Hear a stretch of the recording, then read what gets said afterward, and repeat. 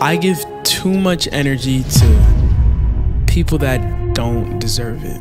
And almost like a hot pot on the stove, if you keep filling it and filling it and filling it, eventually you're gonna get burnt. Especially if you didn't check the temperature. Sometimes in life it feels like you need a companion or somebody to just be there for you or share your journey with you. But to be quite honest, all you really need is God and yourself. So don't let people consume you. They didn't call? Go to sleep. They didn't message you back? Put your phone down and have a better day. They're being very distant? Go and do something actually worth your time. They left you on read. Delete the convo, and they put no effort in, don't wear yourself down, especially not by putting in all the effort yourself. Because I know deep down inside, they are not the catch. I'm the catch. So you should never give up on what really matters to you and never let your happiness depend on another soul. So now it's my chance to grow and focus on myself. And I think the first step is letting go and embracing the people that really matter. Trust God and move on. And after giving this ideology a bit of thought, I think I can finally say that I am free at last.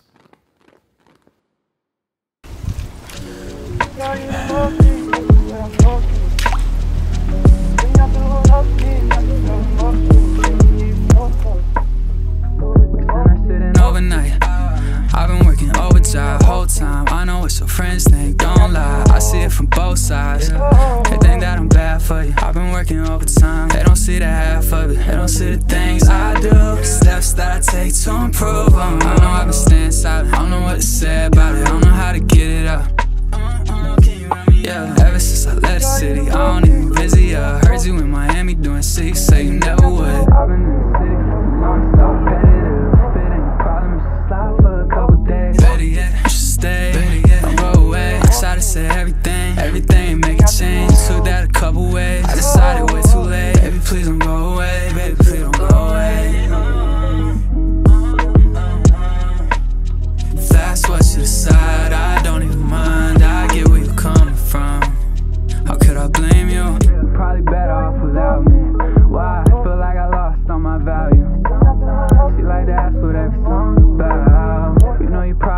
catalog. Time. All you need is time.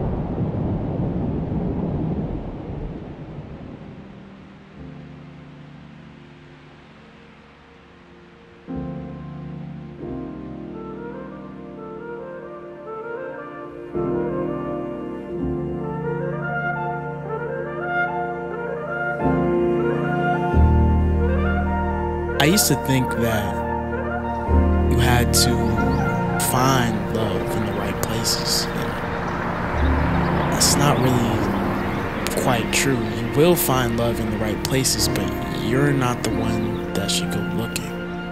The love will go looking for you.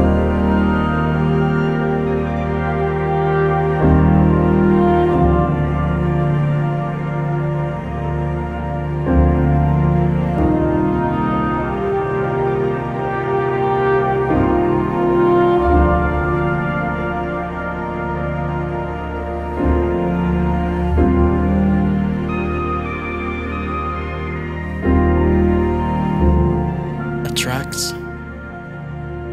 Do not chase. It'll save you a whole lot of hurt and pain. I just don't know what the point of anything is anymore. That's the point. That there is no point? No, that you don't know. The mystery.